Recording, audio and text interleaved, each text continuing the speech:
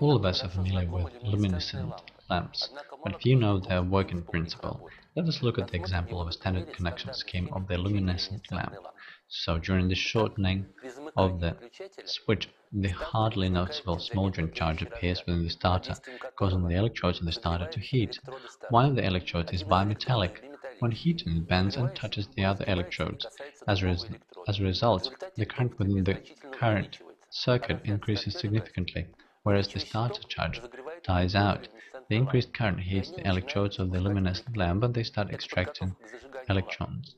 This is the preparation for switching the lamp. The electrodes of the starter cool down, the bimetallic plate straightens, and a gap is formed between the two electrodes. The power of current within the circuit decreases sharply. In a short time, high voltage or self-induction voltage appears in the throttle, hindering the reduction of the current. Together with the network voltage, the self-induction voltage creates the voltage impulse within the lamp, which is sufficient for the appearance of an electric charge in the gas, first in argon and then after the heating of the lamp in the mercury vapor.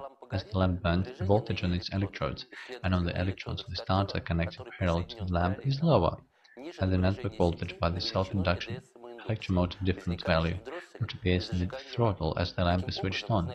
Thus, the designation of the throttle, apart from switching on the luminescent lamp, consists in hindering the limited current charge increase. In the absence of the throttle, the current increase would have caused the destruction of the lamp or the fusion of the safety devices within the flat electric network.